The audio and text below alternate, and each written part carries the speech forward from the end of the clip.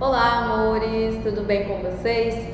Hoje nós vamos finalizar o nosso livro paradidático, que a gente começou a conversar sobre ele nas aulas, em sala de aula, depois nós fizemos dois vídeos e esse é o nosso vídeo final.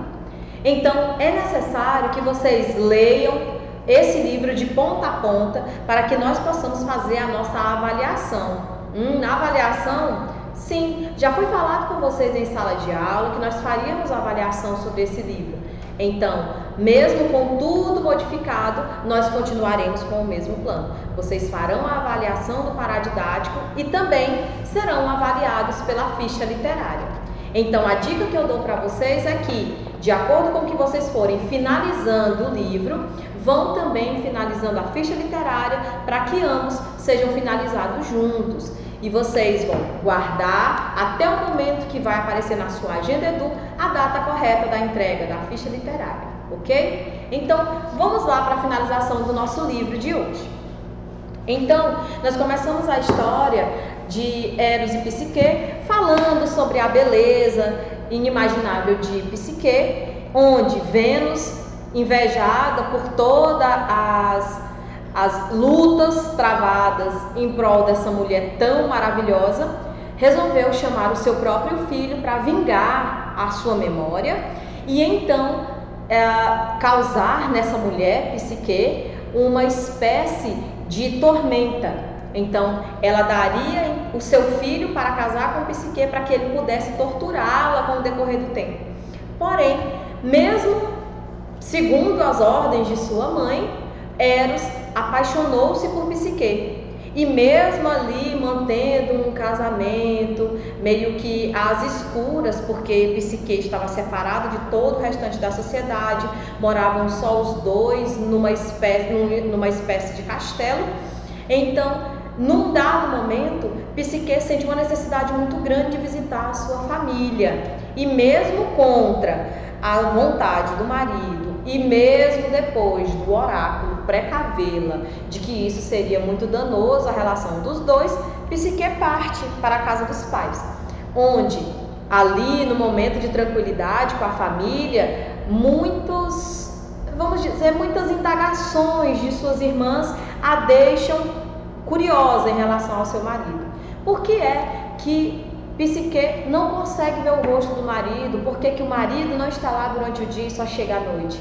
Então, cercada por todo esse desejo, toda essa curiosidade em descobrir como era a face do seu marido, Psique bola uma espécie de estratégia para que, enquanto Eros durma, ela possa ver o seu rosto.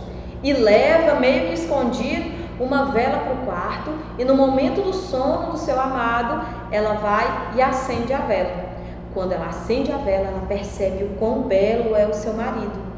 E por tentar ver um pouco mais de perto, uma gota de cera cai no peito de Eros e ele termina acordando. Observando todo aquele movimento e notando que agora psique sabe como é o seu rosto, Eros parte, assim como ele tinha prometido, que caso Psique observasse o seu rosto, ele iria embora simplesmente. A partir desse momento, Psique cai num sofrimento muito grande, num momento em que o seu coração pede com todo anseio esse amado, porém ele não a deixa chegar mais perto. Então, no meio de todo esse sofrimento, de toda essa angústia, de toda essa agonia, ela recorre a ninguém menos do que Vênus para reaver esse amado de volta. E aí, Vênus, sabendo da necessidade de Psique em ter seu filho de volta, que no caso seria o marido de Psique, então ela se utiliza desse momento de fragilidade de Psique e coloca para ela vários desafios. E observando que cada desafio é um pior que o outro e que vai chegar um momento que ela não vai conseguir mais cumprir nenhum desafio, Psique entrega-se à morte. E nesse momento de entrega à morte, enquanto Psique está na angústia da morte, Eros também sofre pela distância da amada. E esse, esse distanciamento faz com que Eros recorra a um Deus. Então ele vai até Zeus, pede auxílio de Zeus e Zeus lhe dá um simples conselho: que ele vá lá, atire uma de suas flechas em Psique para que ela volte à vida.